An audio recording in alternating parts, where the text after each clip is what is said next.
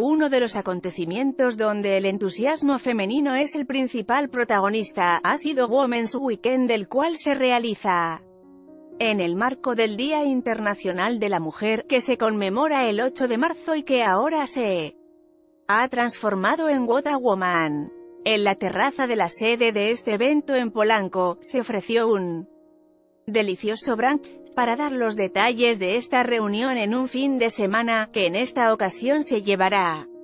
a cabo en la Hacienda de los Morales del 1 al 3 de marzo. Las organizadoras del evento Paola Reiner, Ale Garza y Galia Katz, explicaron cuáles son las novedades de esta edición. Dijeron que esperan alrededor de 7.000 participantes quienes podrán disfrutar de las sorpresas que se prepararon y escuchar a las 200 ponentes, quienes son especialistas de distintos temas y tienen una trayectoria tanto nacional como internacional. Círculos Bomber presenta su primer reloj dedicado a la figura femenina comentaron que en los tres días de What a Woman, habrá talleres, workshops, conferencias, actividades deportivas y musicales, tras cinco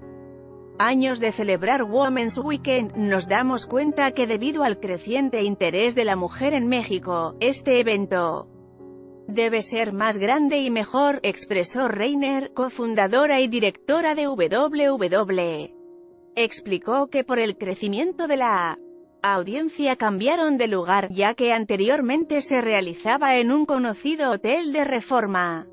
Abundó que entre los tópicos que se tocarán se encuentran emprendimiento, salud y bienestar, moda y belleza, tecnología, familia, finanzas personales, cocina y nutrición, arte y cultura, política y sociedad, entre muchos otros, con las conferencistas que han demostrado su éxito como la actriz Carla Sousa. En lo que se refiere al fitness, se hará una carrera de 5 kilómetros y también se escuchará un concierto de rock femenino a cargo del grupo GRRRL Noise.